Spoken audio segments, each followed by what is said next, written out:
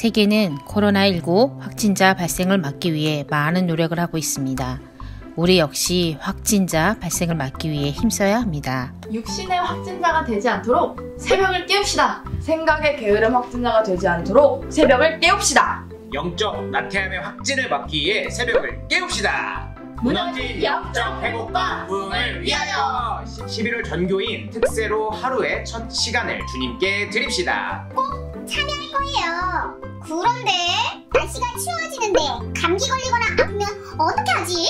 어? 나는 11월에 2박 3일 동안 졸업여행 있는데 어떻게 하죠? 사실 우리 집은 교회에서 너무 멀어서 학교 가야 하는데 왔다 갔다 시간이 많이 걸려 걱정이 돼요. 걱정하지 마. 11월 한 달간 첫째, 코로나로 무너진 영적 회복과 부흥을 위해 둘째, 비전센터 완공을 위해 셋째, 고난 중에 있는 성도들을 위해 교회 현장에서 뿐만 아니라 실시간으로 온라인에서도 함께 예배드릴 수 있도록 진행되어진대. 짜장형 그러면 교회 와서 함께 예배드리지 못할 때에는 유튜브 실시간으로 틀어놓기 하면 되나요? 음, 참여 방법은 로비에 있는 게시판에 신청하고 각 가정마다 번쩍불을 밝히는 LED 십자가를 수령해 그리고 예배 시작 전 4시 50분에 LED 십자가를 켜고 경건하게 앉아서 5시 실시간 영상을 틀고 함께 찬양하고 말씀 듣고 기도하면 돼. 참, 그리고 댓글창에 짜장형 출석!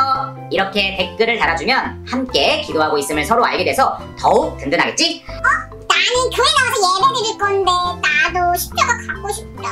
특세에 참여하겠다고 결단하고 신청하면 한 가정에 하나씩 받을 수 있으니 걱정하지 마. 열심히.